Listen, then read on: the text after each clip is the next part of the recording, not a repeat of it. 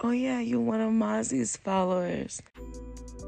It's the last day of the year, and Trey Songz is back in the hot seat. Former UNLV basketball star Dylan Gonzalez went to Twitter and accused Trey Songz of being a rapist. I'm going to read to you all the exact words that were used. So Dylan stated in her tweet last night, Trey Songz is a rapist. Lord forgive me. I couldn't hold that in another year. Dylan concluded, see you in 2022.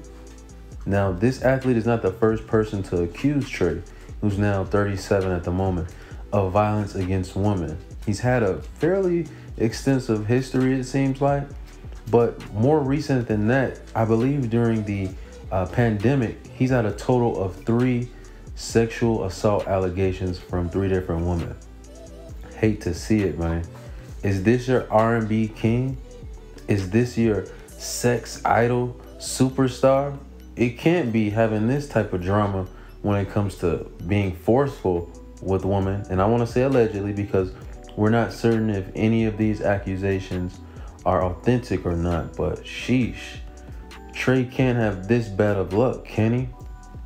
Let me know in the comment section what y'all think.